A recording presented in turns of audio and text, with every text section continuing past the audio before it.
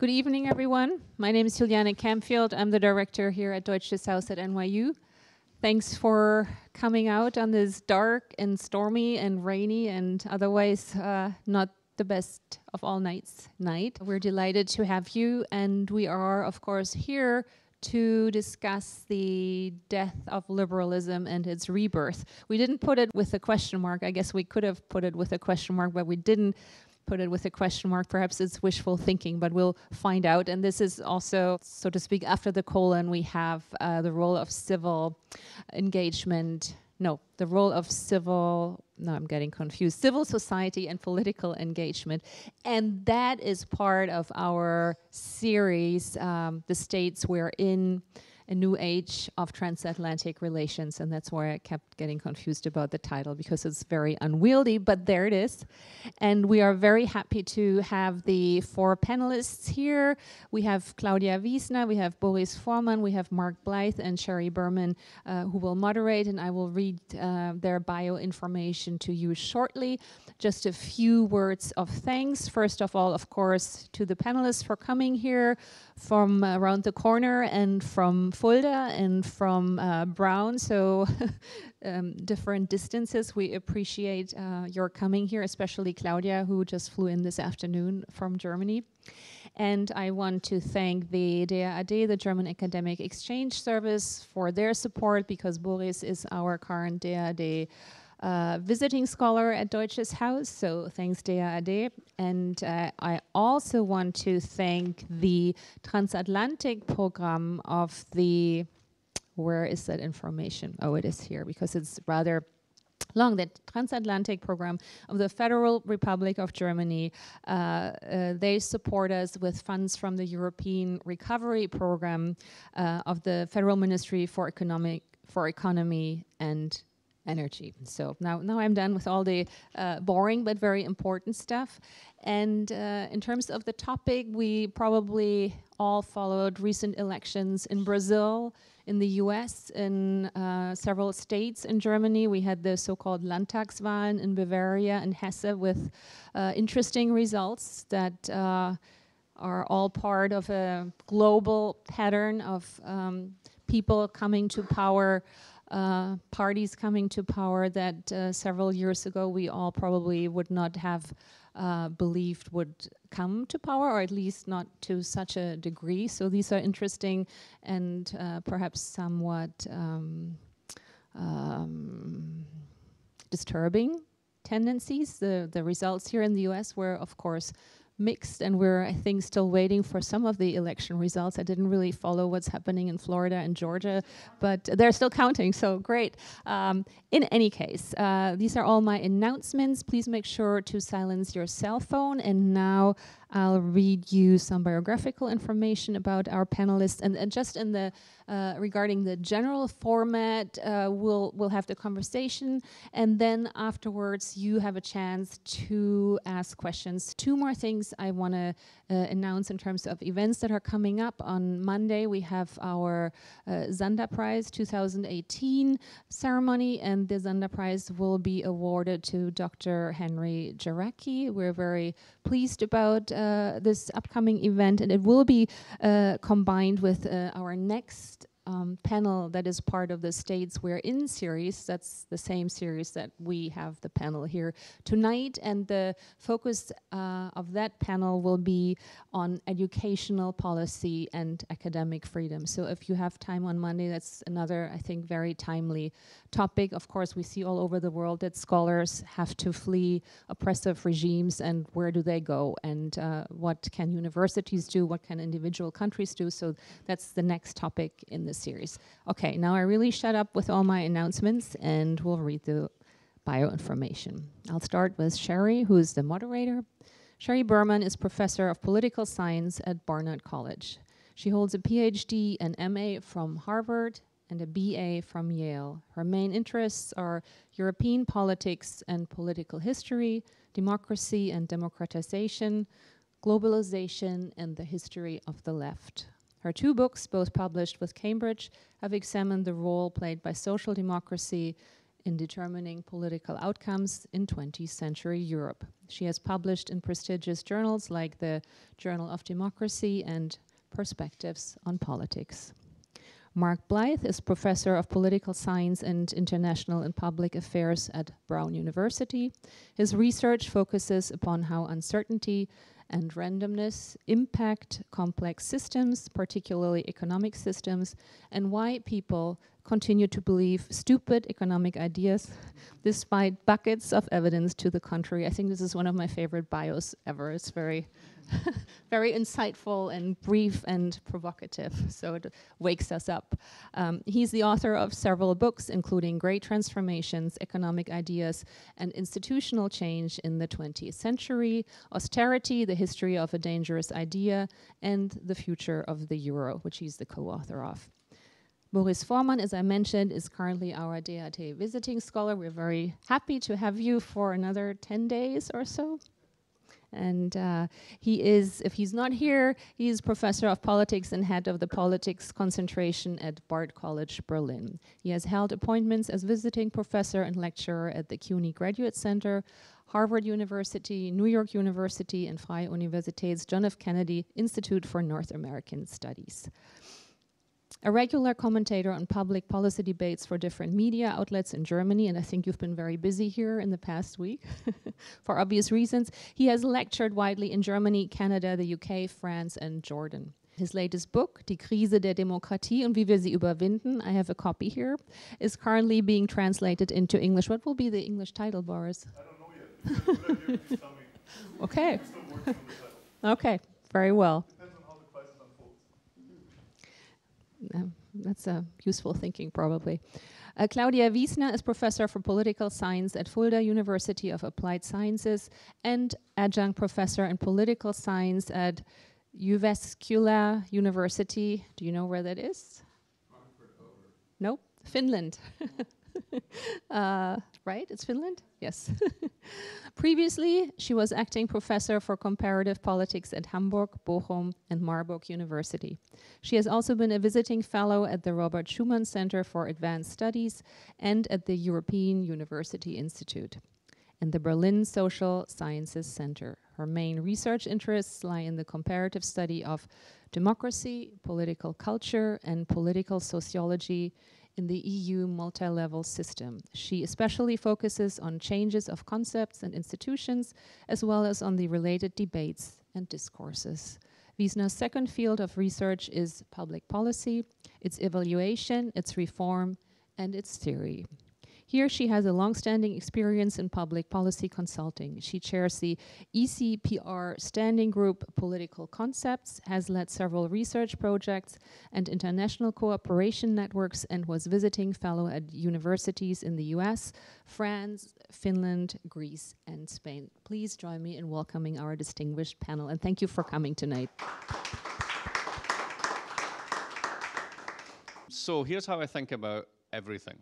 So this is this is a book that's going to happen at some point. So this is how it goes.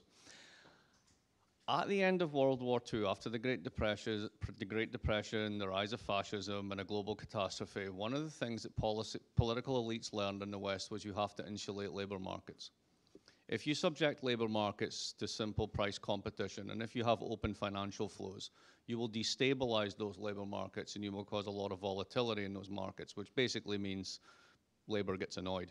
When Labour gets annoyed and that, that coincides with large financial crises, you get into big depressions. And then the politics of that get very nasty. So learning from that, we decided we would insulate labour markets. And we did that in the United States with COLA contracts, cost of living adjustments. You did that in Germany with corporatist institutions. You had big labour on one side, big business on the other. Everything was negotiated. In a sense, it was a labour market cartel. Hold that concept in your head. So that cartel worked really well for a while. And at the same time, product markets were actually quite protected. We had a world in which we had countries that all made similar things and then traded them with each other. Whereas now, under globalization, we have countries that do very, very different things and then trade very differently with each other through much more integrated labor markets and much more integrated financial flows. But before we get there, those product markets and labor markets, which were highly regulated, think the way that America used to do airlines, Right? Think about the fact that you couldn't open a bank account anywhere except in your home country. There were no derivatives. There were no global financial flows. That system produced a ton of inflation, and that's when it blew up in a crisis of inflation in the 1970s.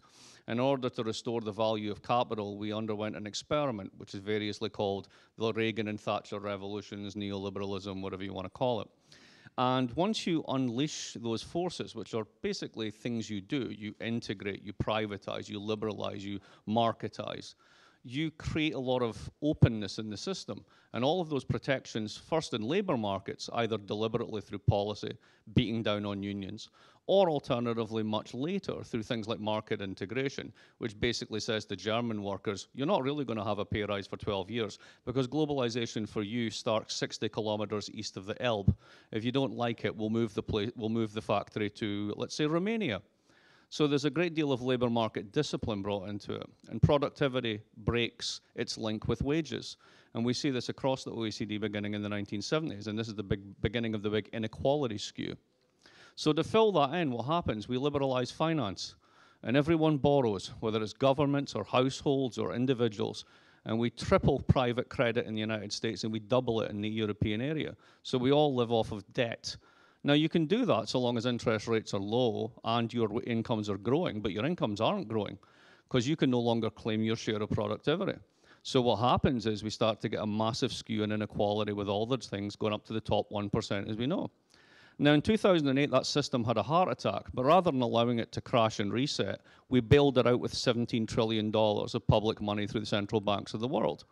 And what happened was another decade in which wages didn't grow and more and more people got annoyed. And they were told they had to tighten their belts and do more with less, while the top 20% weighed off with even more of the gains. And at the end of that, something else happened. We started to notice that unless you're a digital monopolist like Google, the, your product markets were incredibly stressed too. Think about the price of computers, think about the price of cars. From a consumer value point of view, it's amazing, but you think about the margins of most businesses, even if you've got globalized supply chains, they're incredibly tight. So businesses are getting squeezed, labor markets are getting squeezed. So the second cartel, the product market cartel, falls apart with globalization. And we try various things like the EU to basically create a region-wide cartel, but it doesn't really work. And then at the end of it, what's the last cartel standing? It was the political cartel that made all of that possible. The two-party system and multi-party democracies that guaranteed all of those institutions of the post-war compact. But all those institutions have been bypassed. They're irrelevant. They've been blown up. They've been integrated, marketized, privatized, globalized, both in product markets and in labor markets. So what exactly are they there to do? So they talk more and more, they tweet more and more, they govern less and less. They externalize to agencies such as the EU, the WTO, they push it up, they push it out. You have election after election where less and less seems to be decided. And eventually, when the system has a heart attack and has a 10 year cardiac arrest, and we're told that everything's fine because the top 10% and the top 1% are doing fabulously well. It turns out a lot of us don't believe that story anymore. And we start to defect from that cartel, and we start to go other places. And we don't like some of those places because they remind us of the 1930s. But the system itself is broken, and it's not going to be fixed anytime soon. Always fun to speak after Mark, I guess. Um, well, I think I think my story is pretty um, complementary, but it focuses on a different level. And um, a couple of points. I think uh, if you've if you followed a little bit the news about uh, Germany, which you probably have, since you're interested in the Deutsches Haus, uh, it, the crisis of, of liberal democracy looks quite specific from a German standpoint. Uh, so depending on your perspective, you'll get quite quite a different take takeaway message of what this is all about. From a German perspective, this looks like a failure, a long-term failure of reunification. It could also look like a undermining of, uh, of in political institutions uh, in the specific uh, context of Germany. It's also an inequality between the East and the West. Uh, so it looks like a very specific um, rise of neo-nationalism that needs to be treated with its own uh, instruments. If you zoom out, though, you see that there's something similar happen in other contexts. Um, uh, Brexit uh, in France, the Front National makes it into the second uh, round of the uh, presidential elections. Then there's Trumpism, so you cannot just explain it with the refugee crisis in Europe because there was, despite the caravan, uh, no such uh, no such crisis in the U.S. context. So the first point I'm really trying to make is that there's some something structural here and long term that goes beyond uh, the individual context as such. Uh, second thing is, this is not a crisis that comes above us from the outside. It's not an external but an imminent crisis of uh, liberalism. Uh, sometimes, and I think this is why the, the, the, term populism is problematic, sometimes it seems like there was this epidemic of nationalist fervor that was just coming over us from the outside. And it's hard to explain from that perspective why we find ourselves in this uh, predicament. Uh, the argument that we're making in this book is basically that there's been this crisis within liberalism. And let me just try and take a step back and explain a little bit more what we mean by that. And by we, I mean uh, Christian Lammert, who's obviously not uh, in the room, but who's teaching uh, in Berlin. Um, one aspect of this is, uh, or the main story that we're telling there is that this has been a hollowing out of political liberalism, a certain strand of liberalism that uh, vouches for specific uh, values, religious freedom, freedom of, uh, of speech, uh, a certain cosmopolitanism, so a set of political values uh, that has been hollowed out over time on a theoretical and a practical level by um, an economic dimension of liberalism, which argue, argues for markets uh, for the sake of efficiency and productivity gains. And so, uh, what has happened basically with the fall of the wall and the lack of a system alternative um, has been uh, basically the argument that economic liberalism would automatically also lead to political li liberalism. That is, if markets are expanded both domestically and globally, there will automatically also be an expansion of democracy and religious freedom and uh, freedom of opinion and freedom of the press, etc. And so this seems to be backfiring. Um, the other more practical part of this story is the hollowing out of the Fordist compromise that uh, Mark has just described. Uh, the provision of not just the protection of labor markets, but also the provision of public goods, such as infrastructure investments, uh, educational investments, healthcare, uh, old age security. And this is something we see across the board in the transatlantic context. So, a, a stepping away from this notion of social citizenship and the protection of certain public goods and the provision of public goods redistribution of re uh, productivity gains, uh, stepping back and hollowing out these, um, these buffering systems uh, through, the, through the market.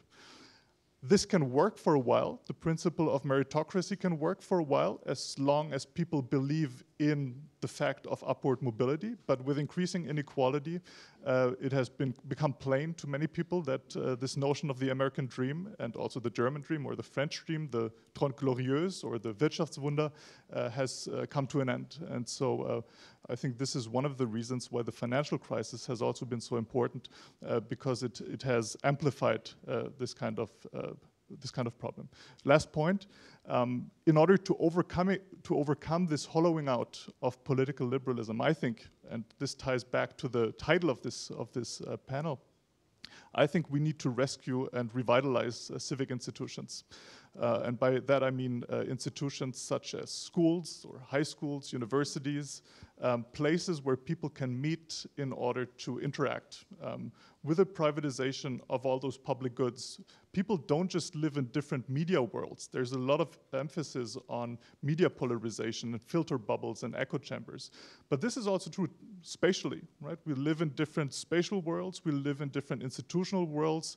Uh, children go into kindergartens where they just meet uh, other children whose parents do the same kind of job. So with the privatization of these different institutions, we have a disconnect. And so we have no means to rediscuss um, uh, the public good. Uh, final point on, very final point on the midterm elections and anti-Trumpism. Uh, I think that the Democrats uh, might not win the presidential election in, in, in, two years' time if they stick to the script of just arguing against Trump. There has been no articulation whatsoever of a, some kind of a social project or an economic project.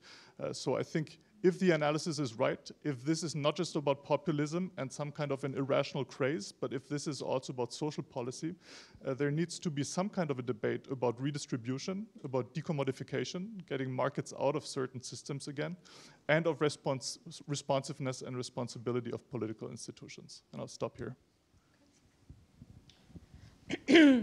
okay, somebody has to take a contrary position here, so I'm taking, or I'm starting with this role.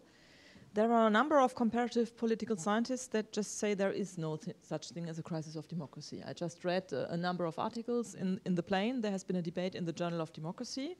And there are really solid empirical findings that stating that there is no crisis, there is no deconsolidation of democracy.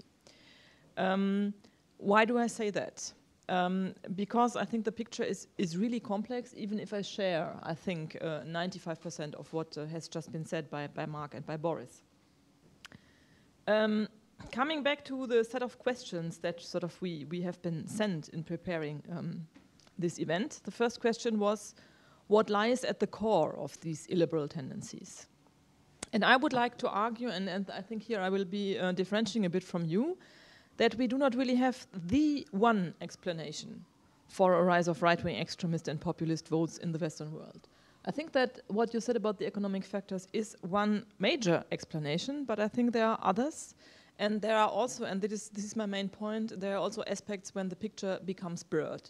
If you look at Germany, for instance, we have this rise uh, in votes for the alternative uh, for Germany which is now in every uh, Länder parliament and also in the German Bundestag, which is a really a new phenomenon for Germany. And it's, it's frightening for me as a German. But when you look at the German economy indicators, you see that most of the classical indicators that lead to a breakdown or to a crisis of liberal democracy are not realized in Germany. Unemployment is low, um, the, there's no economic decline, and the only thing, and that links uh, to what uh, Mark and Boris have been saying, is that inequality has been exploding uh, relatively in German terms. Uh, the Gini uh, index has been really uh, rising very steeply under the red and green Schröder government, not under the conservative government. Um, another point, um, I just taught a comparative course on populism, and we looked at examples from Germany, from France, from the Netherlands, and also from Brazil. And uh, we found out that one thing that those populist uh, politicians have in common is that they seem to appeal to a deep frustration. And my argument is that this frustration is very abstract. Um, it's, it's not even really linked. It maybe has its roots in these economic problems, but it's not really actively linked um, to the economic uh, situation. It's, it's more a deep frustration against the political class, whatever that may be. Now, I think in France you can speak of the political class because they, uh, I mean, 80% of leading French politicians have been to ENA, but that's not the case in Germany, um, for instance. And uh, I don't think it's the case in Brazil. Yeah. Then another point um, in common, and you haven't spoken so much about that, is that most populist movements have a deeply felt or expressed a deeply felt fear against another an undefined threat, but what the other is can, can be uh, very different. It can be Muslims, it can be, as in the case of Brazil, indigenous people. I was really, and, and women. In Brazil, it's women as well. Um, and in Germany, it's, uh, it's the, this, this word, I, I, hate it, it's, it's very pejorative, of Gutmensch. Yeah? It would be probably the liberals here. Yeah? Uh, Gutmensch. Good, uh, it means somebody that always thinks men are good when they are in reality evil. And those nasty liberals that always want to help the poor, you know, and, and the refugees and, and, and those guys. And uh, my argument is that, that it's, it is those very unspecific points where most right-wing uh, movements seem to attack. And I would also argue that it's for a reason that those points are very unspecific, because they can be made moving targets. Then uh, a second question was whether there is an end to the deep polarization and widespread populism that is anywhere in sight. And here again, I would say it depends.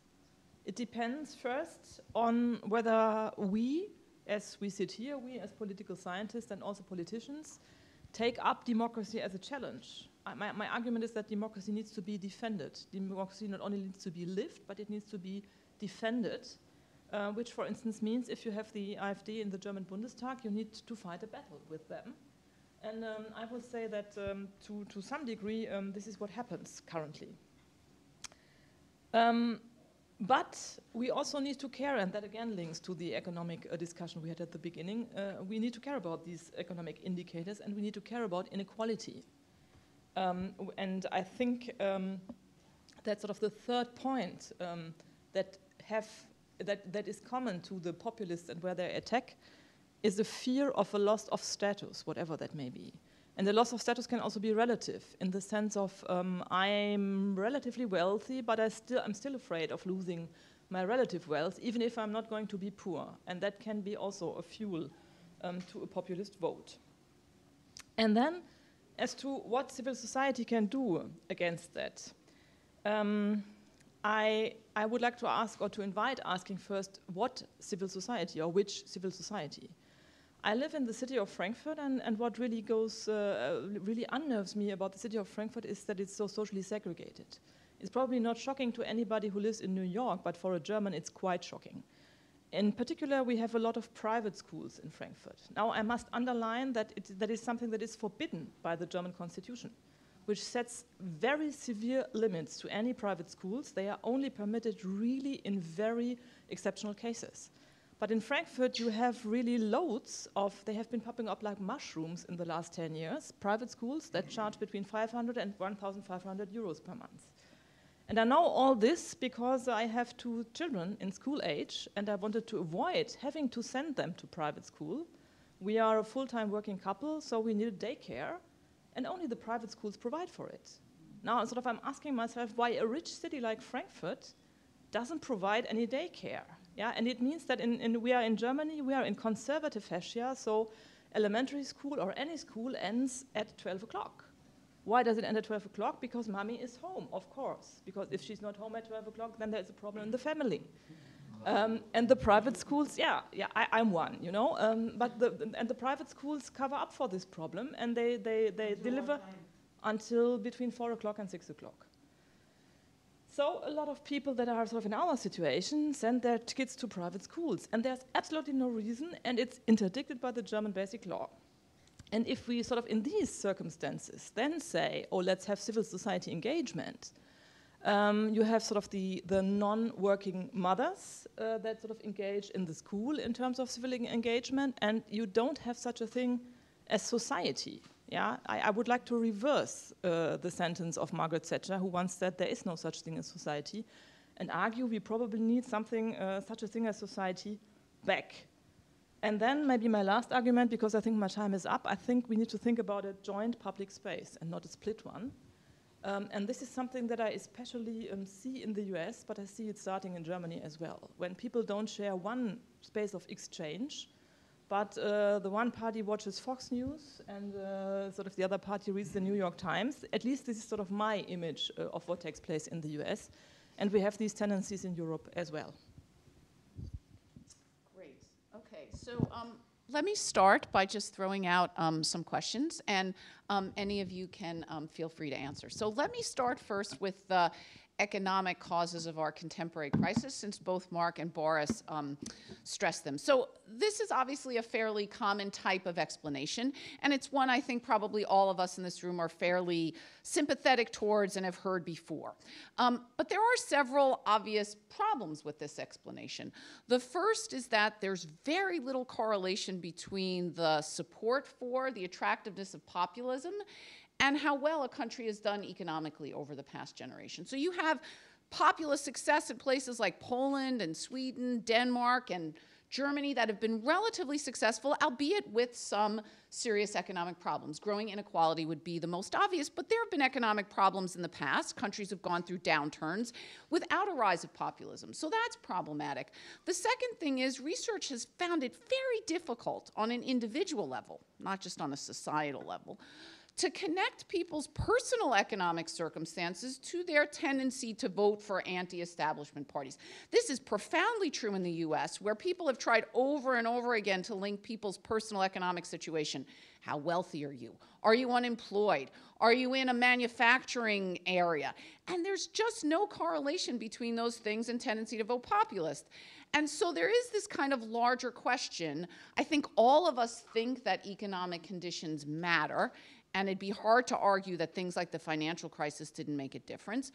But you've not mentioned any of the other things that people would normally mention immigration, cultural changes, technological changes, which Claudia um, brought up, albeit indirectly. So I'd like you guys, and perhaps Claudia, you can weigh in, to discuss a little bit more about exactly what connections you see between these economic failures and these economic problems and the crisis of liberal democracy, or more specifically, the rise of populism, because those two things are very closely linked, but they're not exactly the same.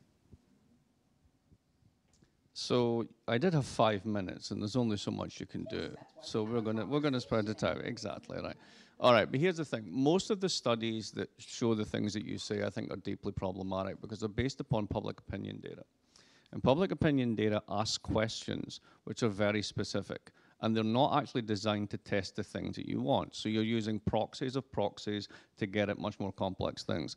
There's a huge literature that actually shows import competition shows up incredibly robustly as a way in which populism gets activated. There's another one that basically looks at, rather than the Gini coefficient or um, um, average incomes, it's wage stagnation over the long term particularly if there's a slight decline, a sort of a slow rotting of the fish from the head down, that tends to be statistically very significant. So even with relatively well-off places, if you, Boston, Lincolnshire is the classic one, if you have uh, ex-migration of the kids going out, you have foreign workers coming in to replace them, and you have a slow, de steady decline in wages, even from a high level, very likely to uh, accumulate populace. It's always the interactions. But this is just one. Well, this is just one in the sense that, you know, I'm not arguing it's a one-to-one monotonic relationship between the Gini coefficient and stuff. That's stupid, right? You know me, I would never argue that. And of course, economics is always expressed culturally. You experience it. So let's think of the exceptions. Romania has the same sort of history as many of these European countries doing very well just now. There is no populist reaction in Romania.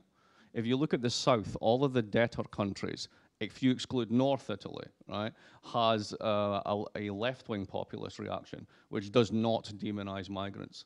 If you look in the North, it's the creditor countries that basically demonize the South, all those lazy Greeks. They're the ones that have the self-righteous nationalist reaction.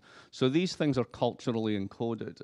And it's very hard to separate them, and we shouldn't separate them. We should understand how it is that Brexit resonates for workers in Sunderland when 90% of the cars that they make go to the EU, and the 62% of them vote to get out of the EU. And the reason that they get, if you talk to them, and people have done this and interviewed them, is why do I care if GDP is going up? You keep telling me GDP is going up. I never see any of it. So why should I care? If every contract I sign means I get a crappier bathroom break and I'm under more and more stress to speed up the line, otherwise you'll move the plant to Romania, why should I care? So I think when we talk about these surveys that say, but really the economy was growing under Obama, so that says it's not economics, I think that's a stupid social science. All right, maybe maybe two points. Um, one of them is, and, and, that's an argument that actually oftentimes made with regards to Germany, where people say, well, Germany is doing pretty well. It's come out of the crisis strong. It's even benefited from this uh, from the crisis. GDP growth is strong, uh, but what people tend to forget is that uh, it's been on the back of a, massively expanding uh, low wage sector. Um, the uh, main discussions up, leading up to the federal elections last year were not about immigrants and refugees. Uh, I mean, in public discourse they were, but uh, in the in the polls that were made, uh, the main focus was on pension, retirement, and on on social social security questions. So um, uh, it's a bit of a distorted uh, image we have um, of of Germany, I think. Um, but you're right. I mean, this is a relative question and it's a complex picture. And the, the, crisis itself is metamorphosing. So I think that the cultural aspects of this crisis and the um, extremist tendencies tend to become stronger over, over time.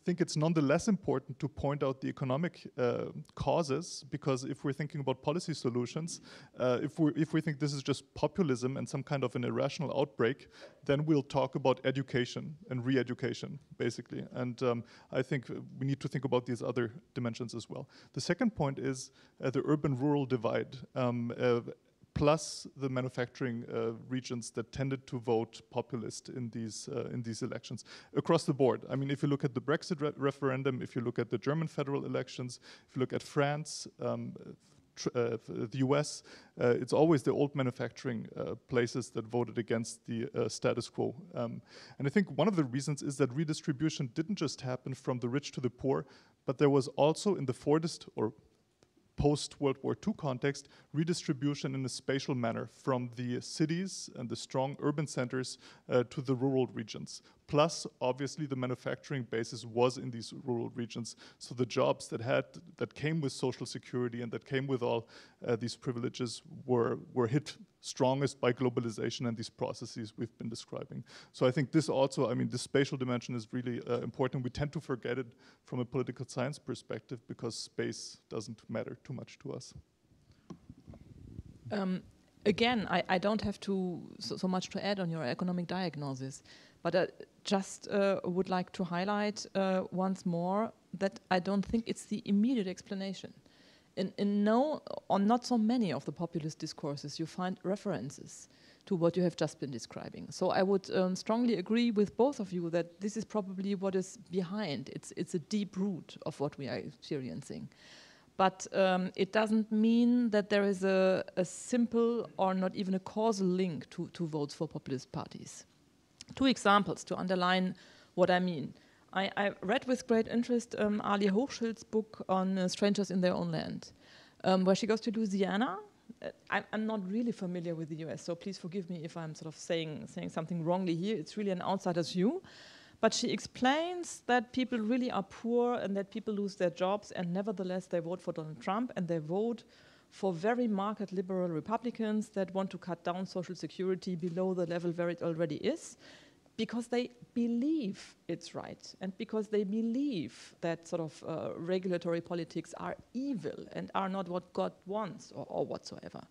So I think that's one explanation um, we, we must take into account, that it always depends on how the story is, is sold. That's one thing. And the th second thing, um, I would like to sort of turn back to Germany.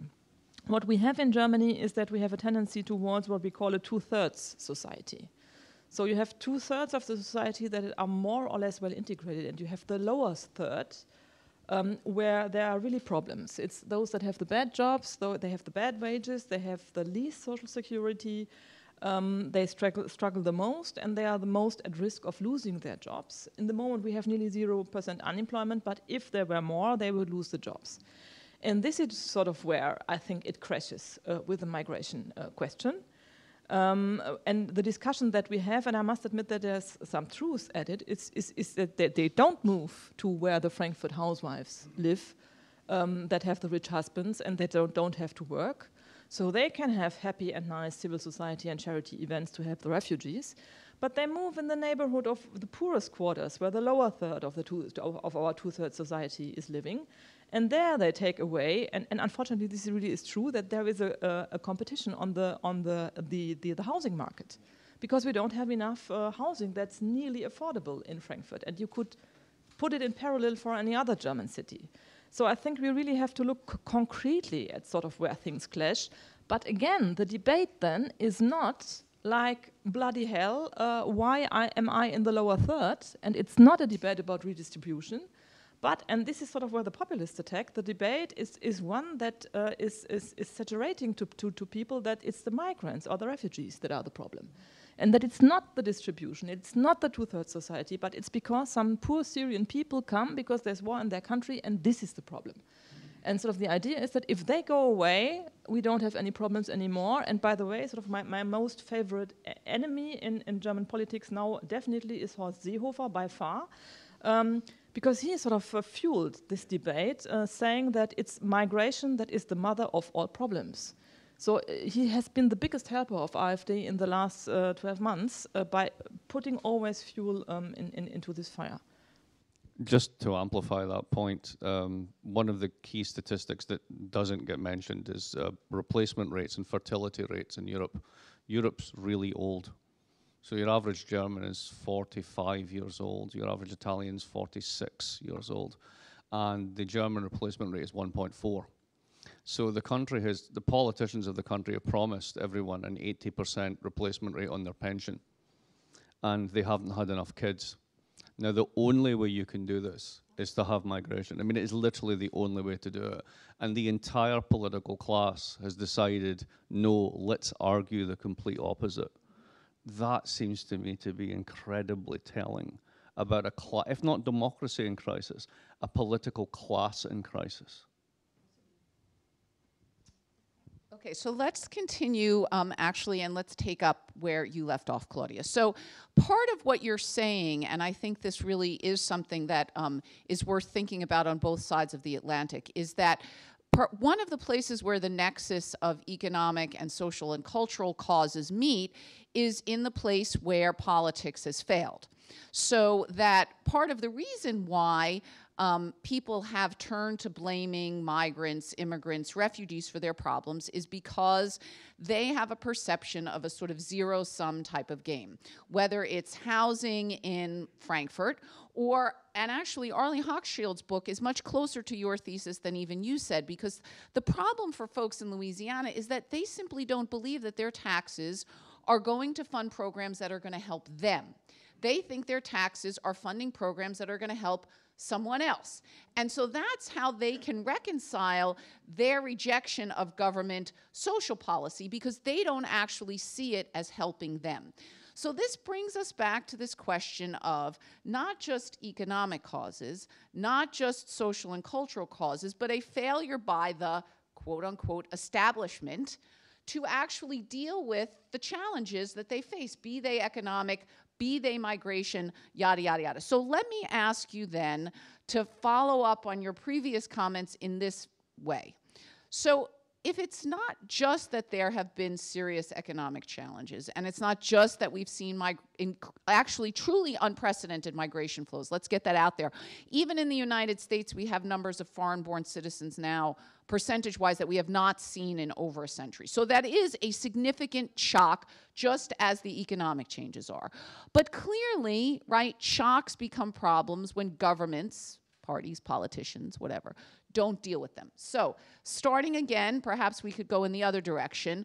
Why is it, would you say, that all of a sudden liberal Democrats, again, our establishment, has proven so inept at dealing with these challenges? If I could answer this question, I would be a very well paid policy advisor. So I just have thesis. Yeah? Um, but my thesis really is that it's it's a bit well. Let, let me paint a very bleak picture, but I sometimes think of the orchestra on the Titanic. Yeah, keep playing to the end, and do whatever you have been doing, and don't care there has been an iceberg. Um, and it's no, but th this is what I think about German social democracy. It's a very sad story, um, but. Uh, this is the, the, the idea that I have. We have always been doing it that way. Why should we change it? And maybe family policy in Germany is not such a bad example. We had Ursula von der Leyen, and it's very telling, I think she's a conservative. And she said, okay, hey, we have to change something in this country because there's a problem here.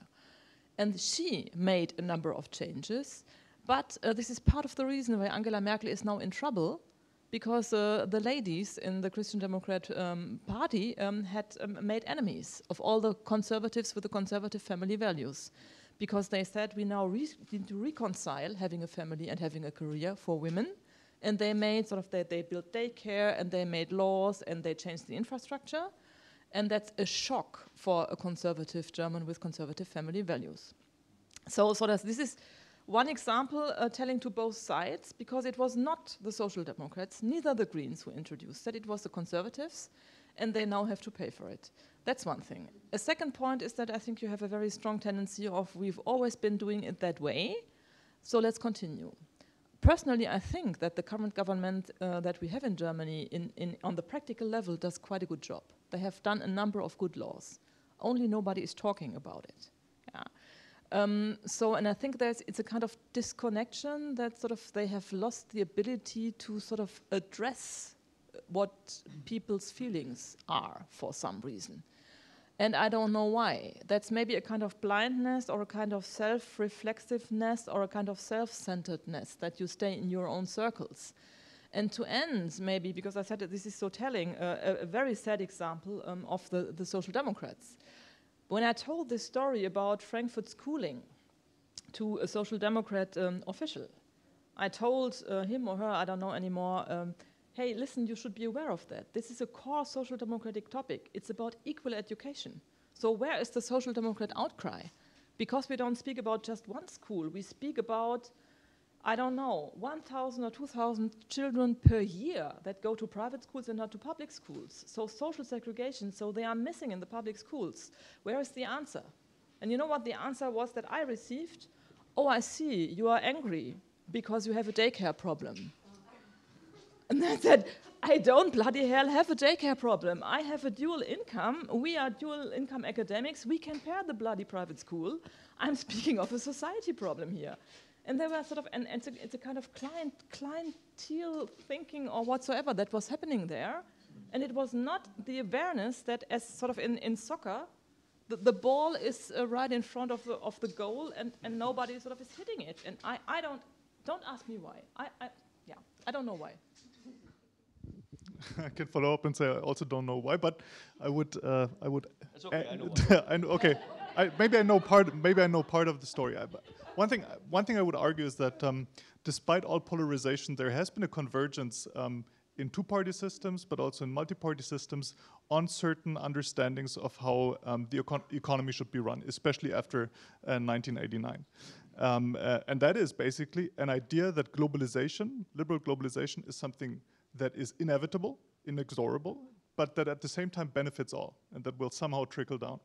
Uh, and I think this story is now backfiring. Um, and uh, both social democrats and Christian Democrats in Germany, both uh, the um, uh, Republicans and Democrats in the US, have basically bought into that story and have agreed on that point.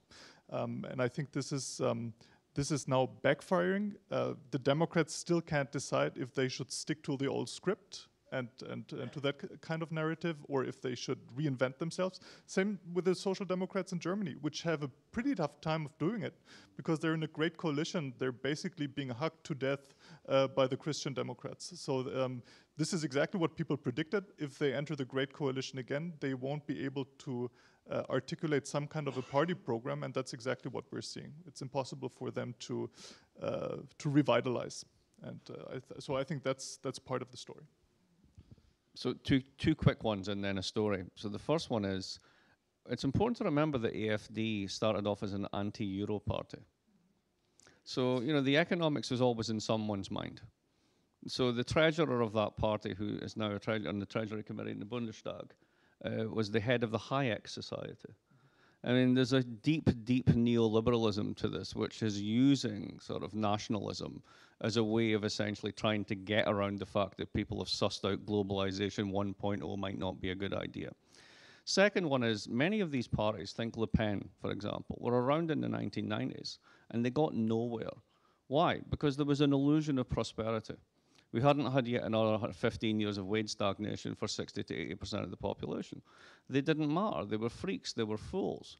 But they waited for their moment, and their moment came only then because the economic conditions were right. So my inner Marxism tells me that the economics is there. Now, here's the third part, and this is the important one. I have a PhD student, a postdoc now, and he just gave a job talk, and the slide that he started with the picture with tells it all. So the first part of the slide is uh, a bunch of workers on strike. And then the next part is a Wall Street trader with two phones. And then the next one is a bunch of smiling professionals who are all very diverse. And he said, What's that? And everyone looked at him, no, that's the Democratic Coalition. And the guy in the middle is the most interesting because he's the one that generates in financial markets alpha he's the guy that makes the money that makes your pensions work because your public pension system doesn't work anymore.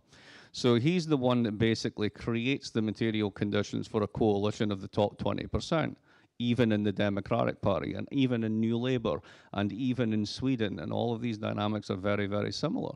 So what you've got is this weird system whereby giving up on the old working class coalition, which we effectively did in the 1990s, meant that we moved to join in with a bunch of people who are very fickle and who are a minority of the population. And so long as we keep generating alpha for them, they're happy occasionally to vote for us. But that leads to a politics that we have in the United States, where it's basically my billionaire's nicer than your billionaire. So you can have Koch brother libertarianism on one side, or you can have San Francisco basic income humanism on the other. But do you actually get to choose anything? Nah, not really. Is that the story? I think so. Okay. All right. So um, let's just continue with a couple more questions. One brief one that um, has come up now several times is the question of the left. So one might have expected, especially insofar as one thinks there are economic causes for our contemporary democratic malaise, that this would have benefited the left, which has historically been the force most critical of capitalism. But in fact, with the exception, as you've already mentioned, of the southern European countries, where I actually think the history of dictatorship has more to do with the fact that there's no right wing populism, but that's irrelevant, um, that actually this crisis has not benefited the left. In fact, the left has seen itself ripped to tatters over the last 10, 15 years, although the roots of its decline are clearly much deeper than that. So I wonder if you guys might briefly, before we, um, I want to end with one last question, and then we're going to turn to the audience. Um, if you might discuss perhaps a little bit more in depth some ideas um, or some thoughts you might have, again, about why it is, A, that the left has not, quote unquote, benefited from this crisis as one might have expected, um, and, you know, what, if any, future the left has, um, you know, sort of going forward in, um, you know, our liberal democratic systems. Um, so, Start with Boris. yes, go ahead, Boris. Sorry, you're stuck in the middle there. Okay. Um, well, I think one of the main problems for the left has been that uh, what I've been trying to argue before, that uh, this idea of cosmopolitanism and, and multiculturalism that would automat automatically come with globalization uh, backfired. And so uh, basically, um, the, uh, the terms, the political terms that have been used by the left, um, sort of uh, jumping on this bandwagon, are uh, are hollowed out. They don't mean anything anymore. So I think the left will have to reinvent some kind of a vocabulary or some set of practices that is very much related to civic institutions in order to try to salvage liberalism or liberal democracy or a certain aspect of liberal democracy that needs to function outside markets. I think it's been done before. Um, I think uh, Franklin D. Roosevelt in the US has, has found a way of embedding liberalism also in a certain language that has been uh, uh, palatable also to a more mainstream audience, but it's certainly it's certainly a tough one. Um, yeah, maybe I'll leave it at that. Um, yeah, good question. Um, some working thesis. My, my, first working thesis is that um, I, I, don't like the notion, I'm nevertheless using it, uh, the dominant neoliberal discourse. I, I, don't like it because I think it's under-complex. It's, it's a catch-all phrase. But anyway, and, and I think that most left parties, at least in Europe, have been buying in on that very much. And maybe again, the German social democracy is a good example because we have these uh, famous Hartz reforms. Um, and I, I think Schröder, in a way, broke the neck of the Social Democrats with that. It went against the convictions, and as I know some leading Social Democrats uh, quite well in person, I know how their heart bled, and I also know how Schröder pushed it through in the German Bundestag. And let me just say, this is not how a parliament should work. Yeah. Chancellor should not come and say, okay, you have 48 hours to read through this thick a package of laws, and then it's either yes or no, and if it's no, then I'm not your chancellor anymore. I mean, this is not how parliamentary democracy should work.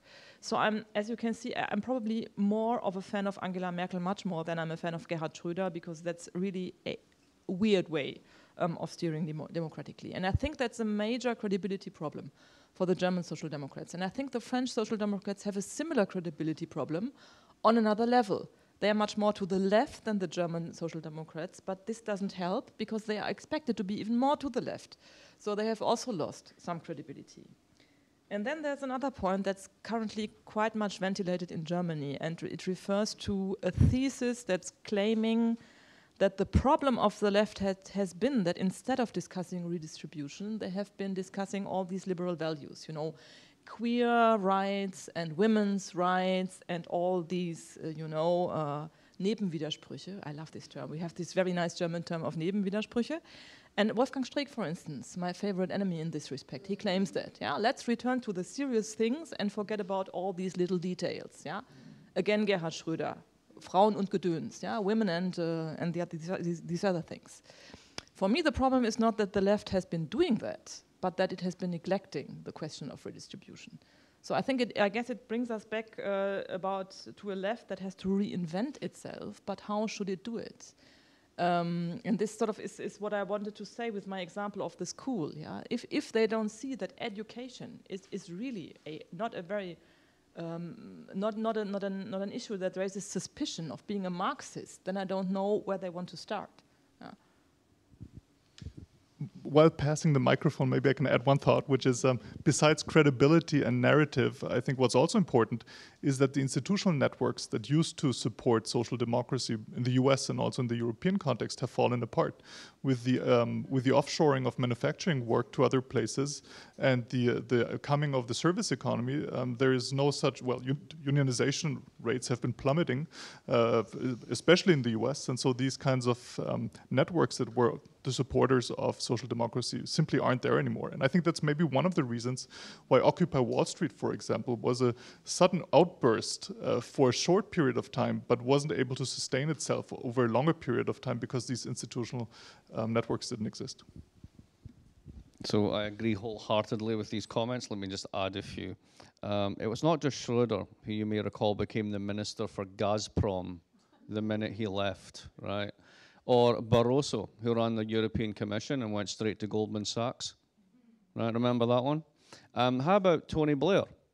Uh, doing all the things that, you know, a war criminal who runs an advisory practice to, to, not to dictators. Um, the entire Labour front bench, who all went into finance right after the financial crisis, after they bailed the banks. I mean, how much can you take your credibility with people and throw it under a bus? Alan Milburn, he used to be the health secretary under Labour, now consults for an American firm that hopes to privatize large chunks of the national health system.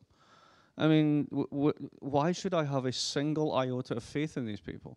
They were the ones that brought the bargain. There was no left. The left shot itself in the head for money. Now, the second part of it is the EU. Now, I'm a huge fan of the EU as a political project, monetary project, ooh, not so sure.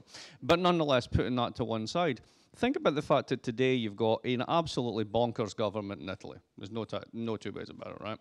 And, you know, anti-vaxxers, for God's sake. I mean, really.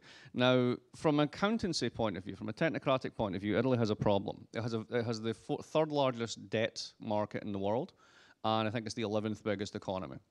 Uh, they haven't grown in 20 years and so basically they're bankrupt, right? That's it. That's the real. They're they're bust. They should just do a debt restructuring and get over it. But they're in this thing called the EU, and they can't do that because if they do, they'll blow up everybody else's financial system. So you vote for a bunch of crazies, and it turns out they can't do anything. They're essentially tweaking the budget deficit up towards three percent. And the response in Brussels is to send them to what's called the excessive deficit procedure and ultimately to fine them now, let's think about how silly this is. Italy's a net contributor to the budget of the EU. So the people who are writing your checks, you're going to find them because they're doing what the people who voted for them kind of want them to do. That's a hell of a box to find yourself in. Okay, great. So um, let me throw out one last question um, before we give the audience an opportunity to, um, to pose questions themselves. So it's always nice to end with the sort of classic what is to be done query. Um, if we might continue on the Marxist track or the Leninist track, I guess we should say. Um, so ostensibly we're supposed to be talking about the death of liberalism and its rebirth. So let's talk, we've talked a lot about reasons for its perhaps demise, if not death. Let's talk now at the end about some things that one might be able to do um, that political parties, governments, politicians might be able to do to help revitalize liberal democracy, to make it more responsive, to make it more effective. So if you were, you know, advising whatever, German government, Swedish government, American government, whatever, um, what might you suggest as sort of some concrete things in an ideal world that could be done to make liberal democracy attractive, responsive, effective again? Um, so let's maybe start, go ahead, Boris, I think in the middle. We'll start with you. Again. Okay. Um, I think three things. One is redistribution, the other one is decommodification, and the other one is a question of legitimacy. I'll say a little bit more about this. Um, so redistribution, obviously, I think there's a need for for social cohesion to exist. There's a need for a certain level of uh, of, uh, of equality. It's interesting. We just talked about how the left basically had an interest or a good analysis of what was going on, on after 2009, when I think of Colin Crouch's analysis, Mark's analysis, obviously, but many more uh, authors who have basically got it right, right? That if this goes on, Robert Reich has been talking about this even in 2008 and 2007. Um, if this kind of split in societies goes on, at some point there will be demagogues, and at some point there might be the threat of fascism. And nonetheless, um, there has been no no way to capitalize on, on this, and I think we just gave some some answers as to why that is. So I think redistribution is uh, crucial. Uh, decommodification, so taking certain things out of the market, providing certain goods as public goods rather than private goods is essential. Um, the big question that we're also trying to address in, in the book is on which level, on which level of government is this supposed to happen? Can we just go back to nation states? Is this something that can be procured by nation states as such in a context of global competition? Or is this something we should think the other way around, not from the institutions that exist themselves, but from the goods themselves? So, what we're trying to do is to launch a new type of discussion as to what kind of public good, first of all, we need, what needs to be provided for us to be free thinking citizens and to participate in, in, in, politics, and on which level of government should it be provided? Are there certain public goods that can be provided on the local scale? If so, maybe that helps to increase participation. It might also uh, help to increase legitimacy if people are involved in, in these deliberations and in, in, procuring these public goods. Are there certain things like logistics, for example, that need to operate on a regional level? Yeah? Who benefits from this kind of public uh, good provision, and how, how can it be how can it be provided? And um, uh, is it a legitimate question? There are other goods like security or climate change or environmentally friendly policies that have, have to happen on a global level, right? We're obviously in a moment where global solutions seem very far off uh, and where renationalization seems to thwart all kinds of cosmopolitan visions. But at the same time, we're in a deep crisis, and I think we need to address and articulate certain um, thorough, um, thorough questions and, and uh, try and give some, maybe even utopian answers. Uh, what I find exciting at this moment in time is that many political scientists, many social scientists are thinking about pretty wild solutions, such as sortition, for example. Uh, so government not by election but by lot, right? Choosing random people to run the government, which would be one way. I mean, at least discussing it. Uh, couldn't be any worse. I mean, I think it's an interesting idea. I, I, I see the problems, but uh, sortition is the idea. It's a very old idea, and uh, basically, I mean, the the advantage of it would be to uh, create legitimacy for an institution and do away with party polit politics and with pol uh, career politicians there are there's a whole slew of problems that come with it as well, right? But I think it's it's interesting, and there should be some enthusiasm. We shouldn't just be talking about the apocalypse. I don't think that the apocalypse is a way of life that attracts many people, and that will, that will bring majorities uh, for for the next type of election. So I think this kind of thinking is uh, is quite important. And uh, so yeah, questions of legitimacy are really at the heart of this. I'm wondering if the kind of trust that has been uh, has been wasted in the last decades is easy to rebuild. I, I hope that the pendulum swings back fast and uh, strongly, but uh, yeah, it's, it's a question that's very much open. Okay, thank you. Um, what could be done? First, um, I would like to say that we should restore what can be termed a democ democratic compromise or restore democracy's promises, uh, which obviously refers to redistribution, but which obviously also refers to, to a welfare state, or let's say social and cultural inclusion, in a sense. Um, we have not spoken about um, this debate of uh, financialist capitalism versus democracy so much, but there are many effects of uh, financialized capitalism that directly affect democratic rights. And I haven't also spoken about what is usually my main and my favorite topic, democracy in the European Union. And I think this is one main example uh, during the financial crisis. We, we didn't only have the, the, austerity problem, we also had a big democracy problem. Because what happened in Greece was that uh, um, representative democracy only took place on paper, but not in practice. Because the Greek parliament could not anymore decide about its budget.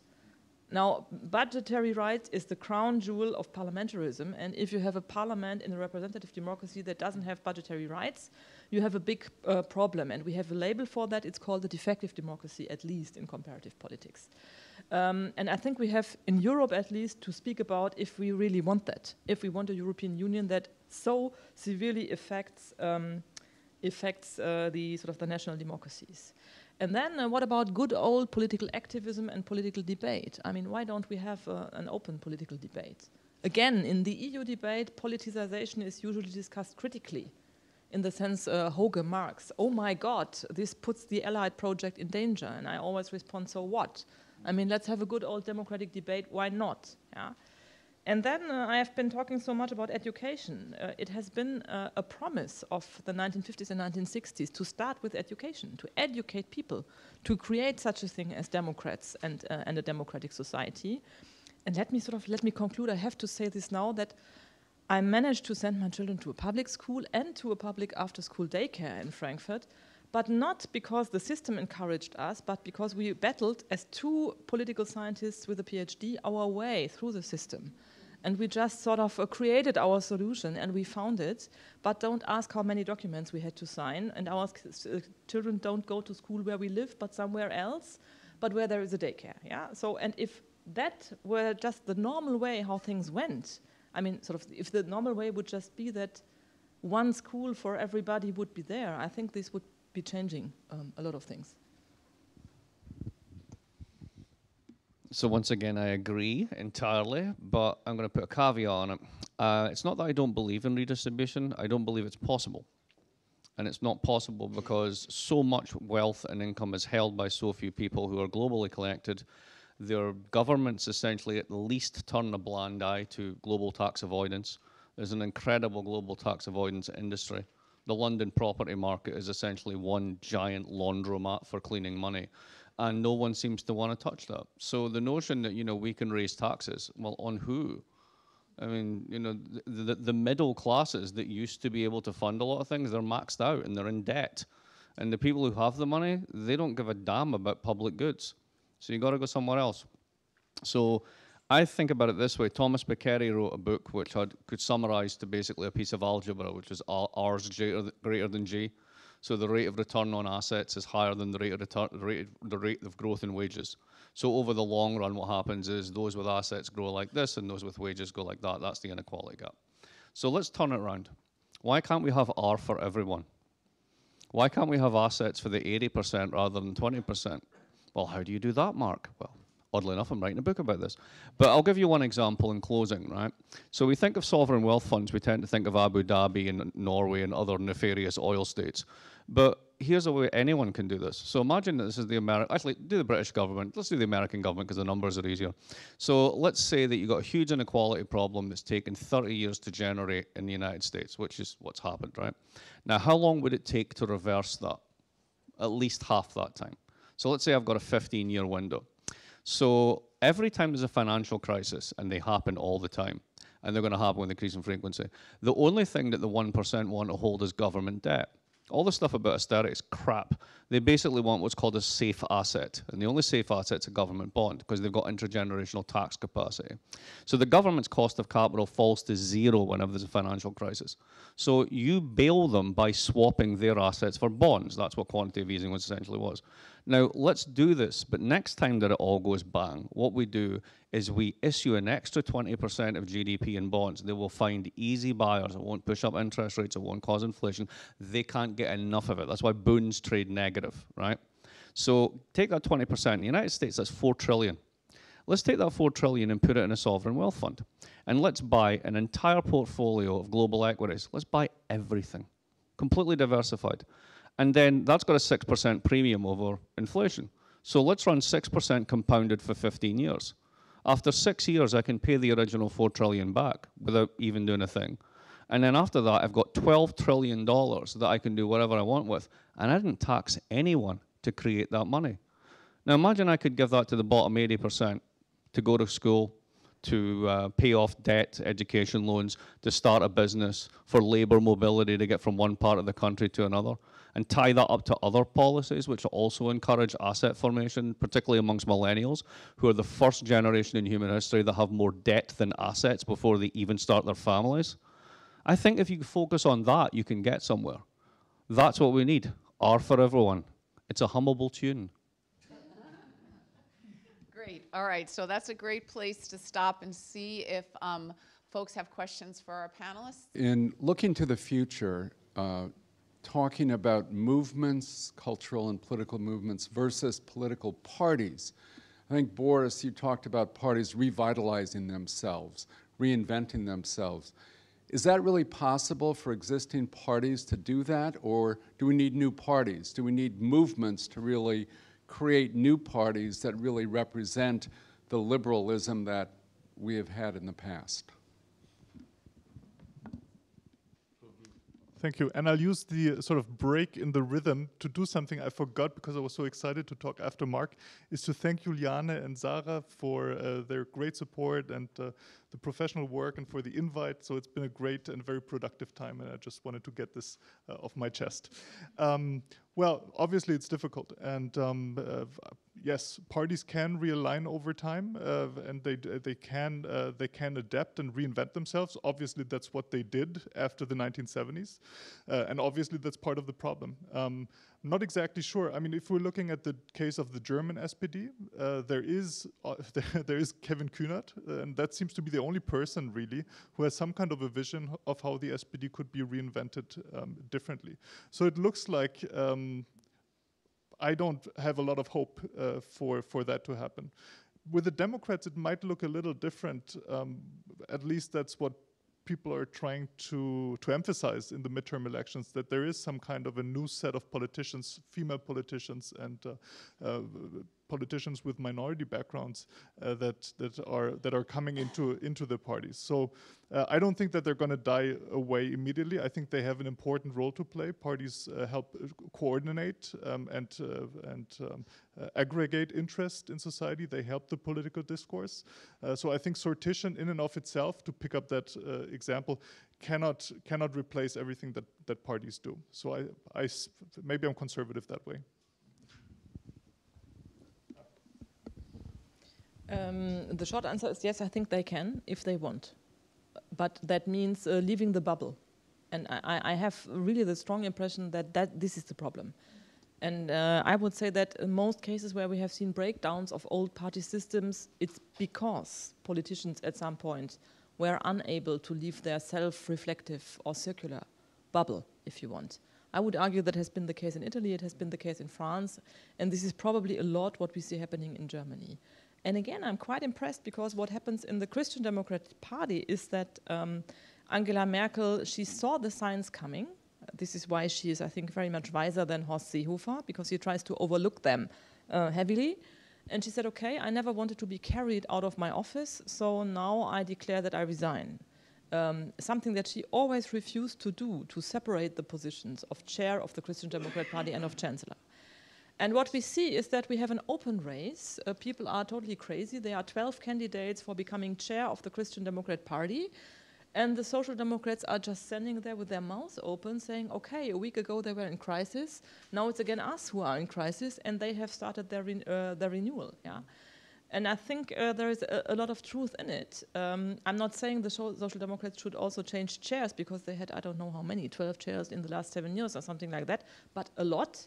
But you, you can see that it, it, it works. I, I, think it works, but they have to leave, uh, parties have to leave the bubble.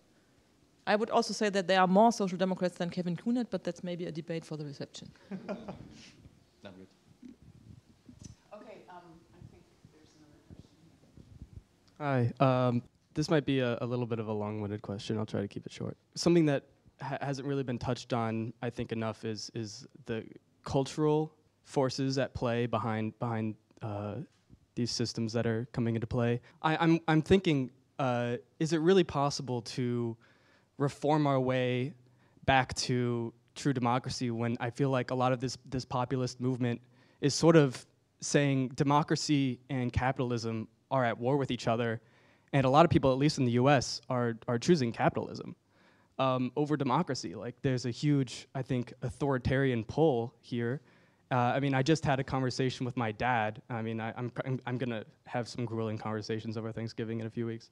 But uh, I basically said to him, how, how do you reconcile the fact that we have three branches of government that, uh, you know, when you look at the individual races, none of them had the popular vote, but, you know, Republicans are in control of everything. Uh, and I basically said, do you think that that's okay? And he said, well, I don't think that it, it it's okay to have a, a true democracy because uh, and this is the most ridiculous thing I've ever heard, but he said, uh, if, if the people know they can vote themselves a raise, they will. That's what happened in Greece. and, and, but I think that that's like a, a, a, a, a real movement in America, at least, is this idea that people sort of maybe to cope with the fact that we have this rise in, inequality only for the top 20%, uh, is to sort of look at that and say, well, that's just the natural way of things. And the way to, to see that is, and so uh, yeah. my, my question is, my question is, can we reform this or is it just inevitable that we're gonna have uh, neo-feudalism in the form of corporate right. powers?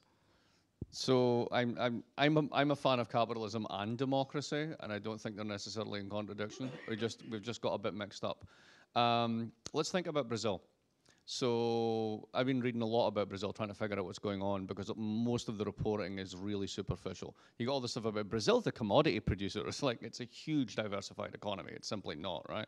But anyway, the point is, what were some of the forces that drove Bolsonaro to power? One of them was a university reform. So it used to be the case that the white middle classes in Brazil, it's a very racially segmented society, they basically had a guaranteed free ticket for publicly funded higher education. That was part of the deal. And what happened was they did a university reform, and suddenly black kids were getting in. And there was a limited number of places, and that freaked out the middle classes. The second one was every family, it was like the South in the United States in the 50s, every family, middle class family, had a maid. That's how you did labor mobility. You basically got out of the poor regions, get on the bus, you become a maid in an urban environment. And what the Lula government did was they gave those people workers' rights and pensions. And suddenly, huge swathes of the middle classes couldn't have a maid anymore. So you took my maid from me, and my son doesn't get any university. Damn right, I want a general coming in and kicking your commie ass. So you can see exactly how those types of cultural politics get played out. I can't. I have to. I have to say. I think it's very important to note that in the Brazilian case as well, the ruling Workers' Party, which did amazing social reforms, was incredibly corrupt, as was the entire system. And if you look across many of these cases, I mean, Hungary is just the most obvious example. I mean, many of these things are triggered by deep corruption on the part of establishment politicians and parties.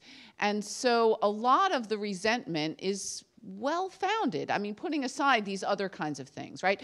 Your question about, you know, sort of capitalism. I mean, this is a long standing debate that folks on the right have had, that libertarians in particular have worried about, right? Which is, you know, if you give people the vote, they're going to vote to do things that will threaten property rights and markets. That's why you're supposed to have a balance, right? That's why you're supposed to have democracy, because democracy is equality, right? Democracy means everybody's supposed to have the same rights to vote, right? And so when things get out of whack, then you begin to see problems. And so the question is how it got out of whack, and I think that's what we've been talking about. And then how might one restore the balance so that those two things can work together um, harmoniously? I have to add something to this because it seems to me to be a very American debate. Yeah, I'm, I'm not sort of uh, downplaying this, but uh, the German economic wonder is based on what Ludwig Erhard, again a Christian Democrat, termed social market economy. So nobody would say that capitalism and redistribution are in contradiction. yeah, but th that's sort of 50 years, uh, 50 years after. Yeah, they say that sort of it, had, it has got out of joint in Germany, but if we look at economic inequality in Germany and if we compare it with economic inequality in the US, and if we compare what is left of the German welfare state with the welfare state in the US, um, you will see huge differences. Yeah. So I think that this debate of like, oh my God, uh, we'll have the Marxists coming everywhere. I'm, I'm exaggerating a bit to me really seems to be a very American debate, and I think that this sort of this idea of social uh, market economy to me is a very appealing one. If you want to reconcile uh, capitalism and democracy, um, yeah. And by the way, there have been parties um, arguing that it's legitimate to be against capitalism. Yeah. Um, and it doesn't necessarily mean we have to have an authoritarian communism, but uh, there have been people inventing democratic socialism and things like that. Yeah, so you know, I think it's legitimate to at least uh, reflect about um, alternatives.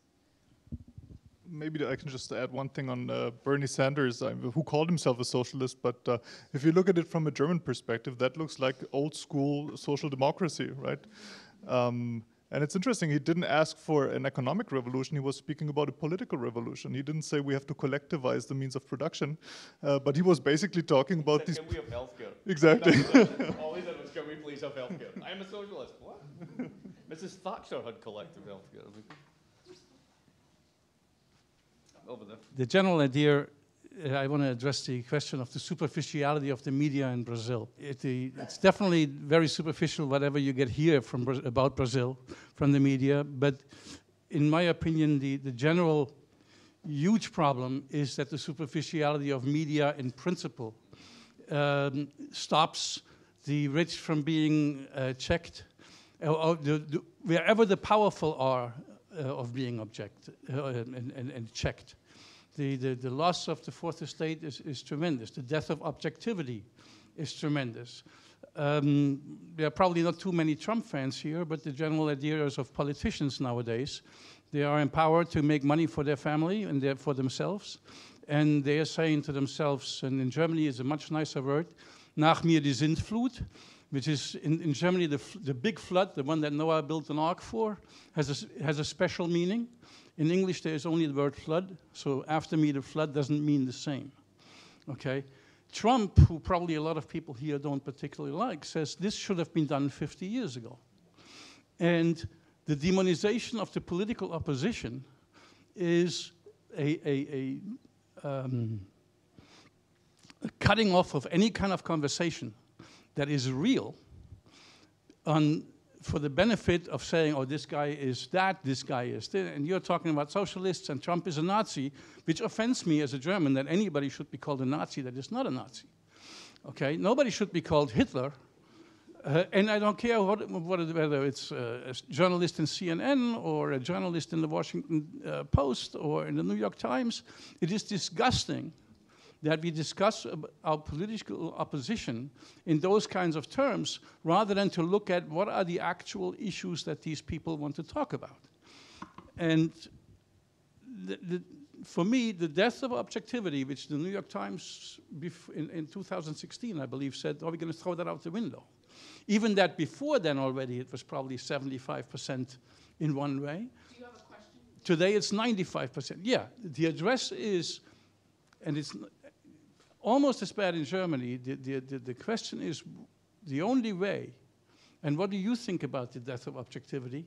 The only way that we can fix things is by having real discussions. And, and, and, and to basically kill political um, correctness within that political discussion, because with political correctness, you can't have a discussion. I'm not so, okay. I'm not so sure it's correctness per se, right? I but I think the point goes like this: There's a very interesting economics paper about media control, and if you have oligarchic media control, if you have Italy, where essentially got Berlusconi type ownership, or you have even Britain, where you have Sky with very high penetration, and you don't have a robust public system, then you tend to get hyper populism right? Because then you can basically be funded by the true crazies, and that's sort of what really pushes politics to the extreme. So there is some work on that that suggests that's the case. But you can also get to the other extremes, and just to lighten the mood a little bit, there's a wonderful example of how nuts this gets with the BBC. So the BBC was very politicized in the prior decade as being very much on Labour's side and all this sort of stuff. There was a huge politicization. So they, they said, oh no, we'll make sure that we're completely even handed. We've always even handed. But sometimes there's just not two sides. So they had a, a, a, budget recently, and a huge item in the budget was half a billion or a billion pounds or something for fixing potholes. So the BBC went out and tried to find someone who would think it was a bad idea to fix potholes. I'm not making this up. And so they found some guy that runs a garage who obviously like makes money, you know, if people crunch through potholes. And they said, so we went to Fred and we, we went to Sherry. Sherry fixes potholes. Hi, Sherry. Do you think it's a bad idea for Philip Hammond, the Chancellor, to be given money? And Sherry went, no. And he went, great, thanks. So if objectivity is that kind of performance where you're simply going to find A and not A, you're still not talking about what needs to be talked about. So to give the earlier example, the German replacement rate in population is 1.4. Your pension promises are 80%. You need migrants. or you die as a society. That's what you really need to talk about, not this bullshit that gets said on the television. Hi. So, just going along with what you said, you need migrants. But the type of migrants that you're getting in with this tremendous influx are on a different level than the society. We're living in a very technologically sophisticated world, and we don't have the kind of jobs around that someone could take who could just do manual labor and maybe work their way up. We're on a much higher level, so it's very daunting, very intimidating. And then you have people with coming in with very different value systems who don't necessarily want to trade those value systems in for the dominant or mainstream value system. So my question is, is this really going to work or are the immigration figures coming in, the people coming in, rather than propping up the society, rather than helping to fund the pensions, going to put an extra weight on? And what do you think about that?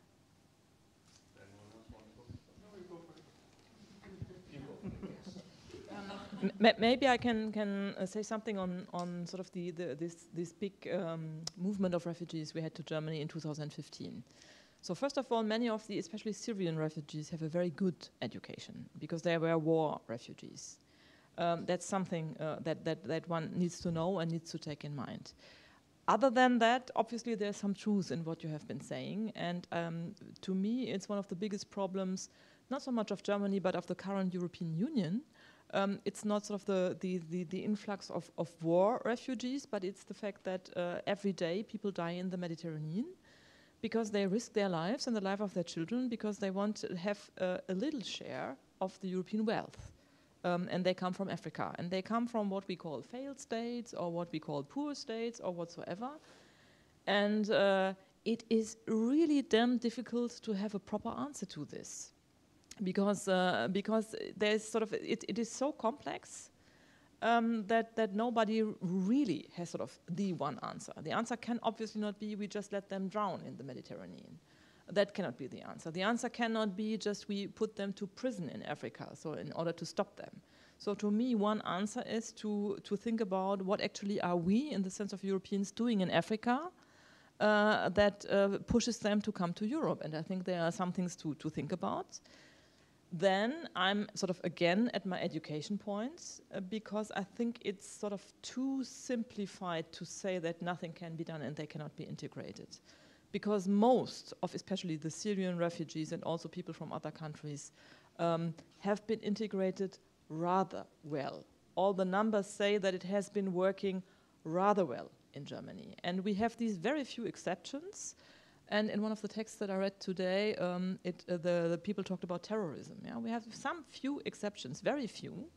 So obviously, sort of percentages of certain crimes have risen a little bit with an influx of one million people, which is perfectly normal. Um, but on the average and in general, it seems to work out quite well. But sort of to, to make a point, and now I have to say something that I don't really like, um, but probably if you sort of switch away all humanitarian aspects.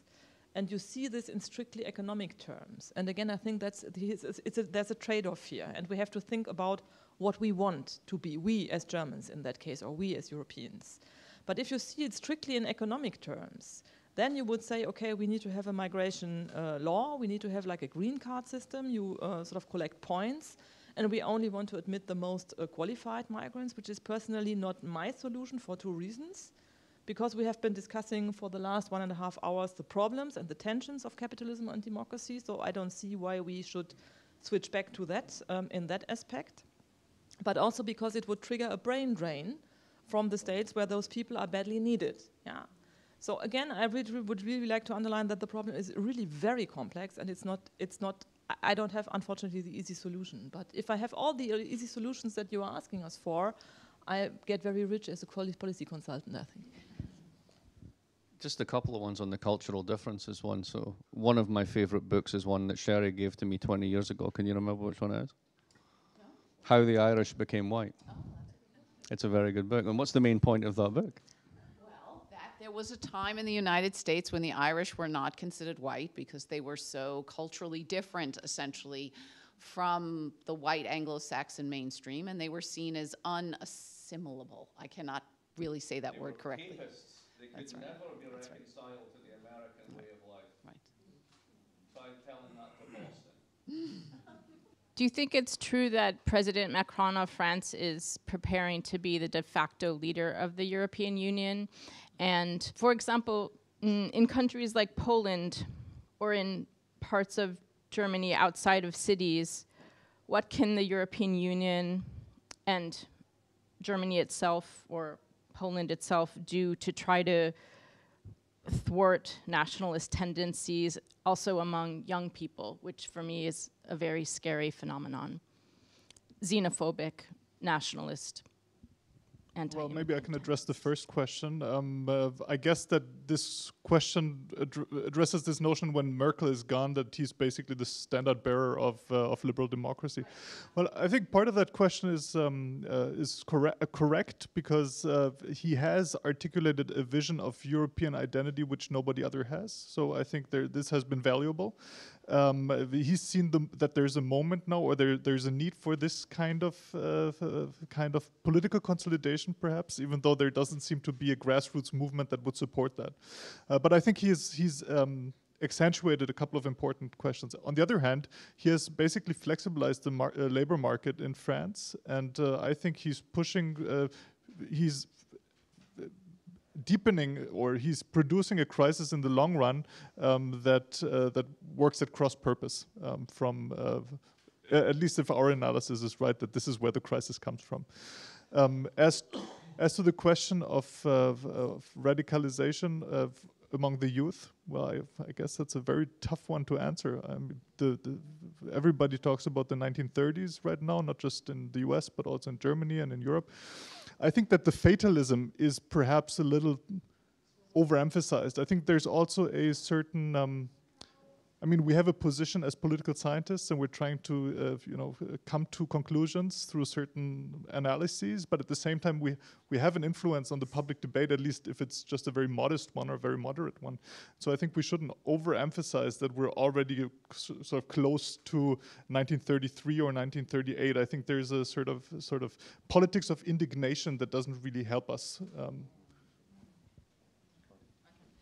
Well, I, I can say that uh, because I've just uh, read all those uh, very sophisticated evaluations of the World Value Survey and so on. Um, there is no general problem of young people being more skeptical of democracy than the older generations. And in fact, the problem is more the older generations that vote for the right wing populists than the young people.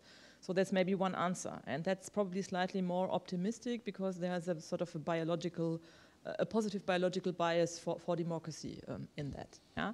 Then I think Germany and Poland are really two very different cases. Um, there is this problem of right wing extremism, um, not so much under young people, but it is there in Eastern Germany. And I think Poland is a very different case because we have this right wing nationalist, right wing populist, very conservative, very Catholic movement.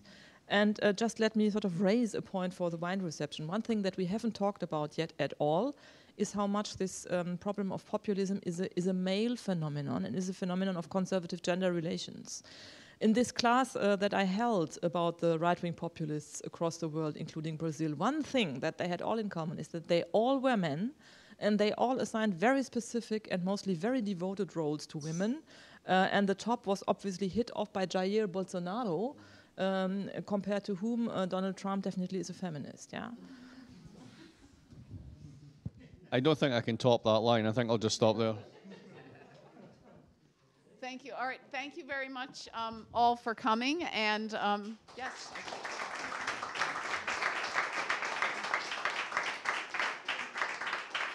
Thank you so much, Sheri, Mark, Boris, Claudia, for this very dynamic, insightful, provocative, and entertaining intellectual ping pong game you guys have been playing. I, I really enjoyed it personally, and I think everybody else did. We have a lot of food for thought to take home. We have things to discuss with our parents or uh, family over Thanksgiving.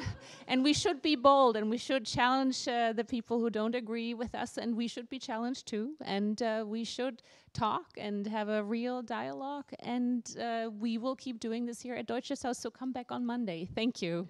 And enjoy the wine.